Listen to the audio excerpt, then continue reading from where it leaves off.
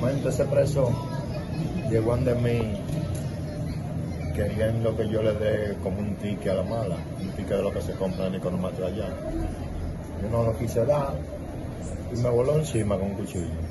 ¿Ustedes habían tenido otros problemas, otros inconvenientes? No, nunca, nunca. ¿De dónde tú eres, Noel? De la terrena de esa manera. ¿Qué pena tú cumples?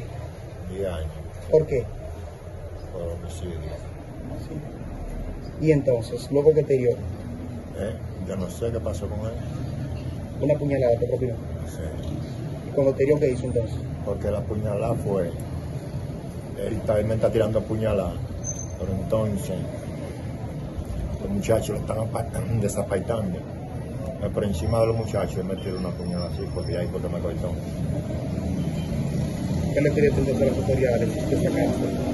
¿Qué? ¿Qué le pidió a las autoridades cárcel entonces? Dígame usted, ¿qué le puedo yo pedir a la autoridad? Nada. Está todo tranquilo, está todo bien. Y en adelante, ¿qué tú piensas hacer entonces? Yo, yo no tengo pensado nada. ¿Como el nombre tuyo entonces? No, él mató Félix.